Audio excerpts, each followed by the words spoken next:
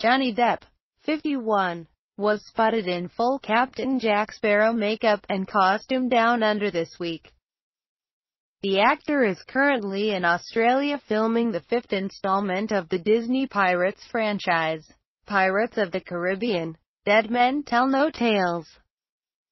In between takes, Depp chatted and shook hands with fans as they snapped photos of the infamous Captain Jack Sparrow. The 51-year-old actor reportedly spent 20 minutes mingling with the crowds in Raby Bay, outside of Brisbane. One lucky Australian mother managed to snap a selfie with Depp, while in her pajamas.